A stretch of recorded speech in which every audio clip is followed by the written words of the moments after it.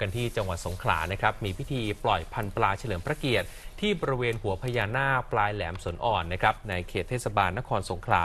นำโดยพลเรือโทชุตินทร์ทัตตานนท์ผู้บัญชาการทัพเรือภาคที่ 2 ได้นำเหล่าข้าราชการและแม่บ้านทหารเรือครับ ร่วมกันปล่อยพันธุ์ปลากระพงขาว 2,000 ตัว และปล่อยเต่าทะเลอีก 88 ตัวลงทะเลอ่าวไทย เพื่อถวายเป็นพระราชกุศล สมเด็จพระบรมราชชนนีพันปีหลวง เนื่องในโอกาสมหามงคล วันเฉลิมพระชนมพรรษานะครับ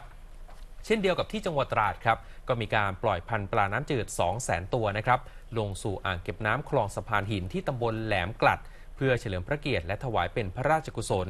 ทั้งยังเป็นการปลูกจิตสำนึกให้กับประชาชนและเยาวชน ได้ตระหนักถึงการอนุรักษ์ และฟื้นฟูทรัพยากรสัตว์น้ำให้สามารถนำไปใช้ประโยชน์ได้อย่างยั่งยืน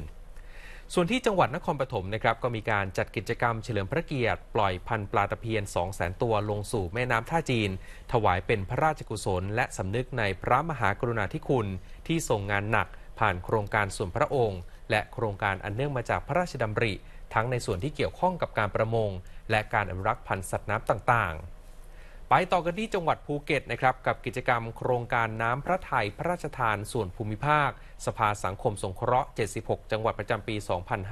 2562 โดยสภาสังคมสงเคราะห์แห่งประเทศไทย ในพระบรมราชูปถัมภ์ได้ร่วมกับส่วนราชการนะครับจัดขึ้นเพื่อเฉลิมพระเกียรติ สมเด็จพระนางเจ้าพระบรมราชชนนีพันปีหลวงนะครับด้วยการจัดเลี้ยงอาหารแก่ผู้สูงอายุ ภายในศูนย์พัฒนาการจัดสวัสดิการสังคมผู้สูงอายุจังหวัดภูเก็ตที่ตำบลปากคลอกอำเภอถลาง พร้อมมอบเสื้อผ้าและตะกร้าของใช้เครื่องอุปโภคบริโภคแก่ผู้สูงอายุด้วยนะครับ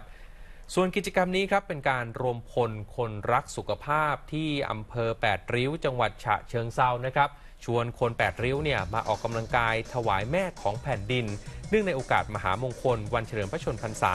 ซึ่งเป็นกิจกรรมที่ส่งเสริมให้ทุกคนนั้น หันมาออกกำลังกายเพื่อสุขภาพที่ดี และสร้างความสามัคคีให้กับคนในชาติด้วย ที่นี่เขาบอกว่ามีคนสนใจเข้าร่วมกิจกรรมกว่า 600 คนเลยทีเดียวครับค่ะ